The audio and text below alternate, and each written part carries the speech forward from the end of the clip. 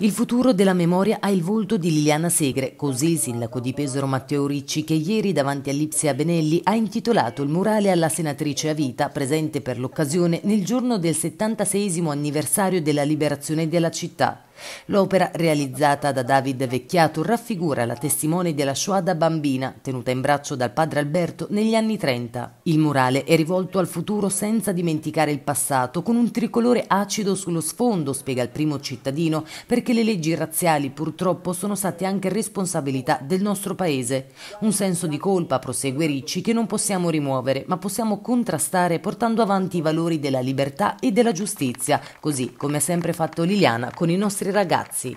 E siamo molto contenti perché questo è il nostro regalo Liliana Segre. Liliana festeggerà proprio il 10 di settembre 90 anni e siamo i primi a regalarle qualche cosa e questo è davvero un dono particolare perché è un grande segno in una scuola, in una delle principali scuole della nostra provincia, il campus scolastico, che è un grande anche viatico per il futuro, perché la dimostrazione che questa città continuerà a lavorare per la memoria, contro il razzismo, contro l'intolleranza e contro l'odio, quindi davvero una giornata particolare.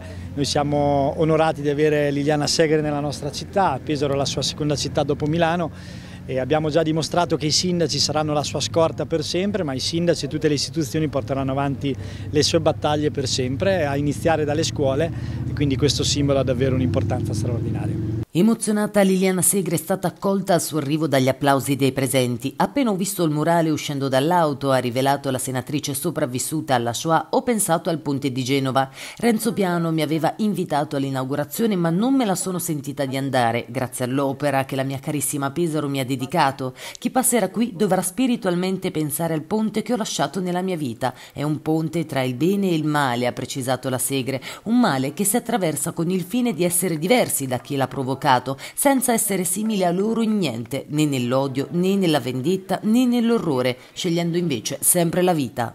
Quelli che sanno fare la differenza, quelli che sanno fare la scelta, sceglieranno sempre un ponte. Un ponte che unisca gli uni agli altri, ma che non assomigli mai a quelli che si lasciano dall'altra parte, a quelli che fanno muri e non ponti. Allora questo è un murale che è sopra un muro ma che diventi sempre nel futuro un ponte.